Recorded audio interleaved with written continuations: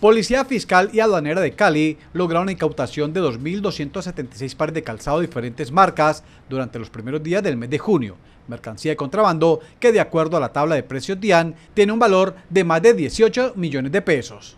A la altura del kilómetro 5 vía Florida Candelaria se presentó un accidente entre un vehículo particular y una camioneta.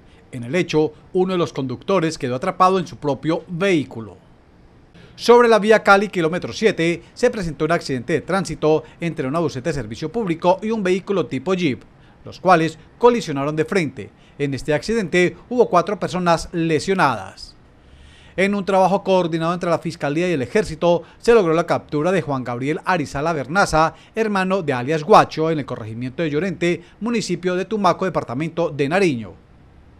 Como Héctor Zapata, fue identificado el hombre muerto por sicarios al interior de un local comercial en el municipio de Cartago. Según testigos, fueron varios disparos los que se escucharon que acabaron con la vida de este hombre a quien conocían como el costeño. William Hurtado Loaiza, CNS Noticias Buga.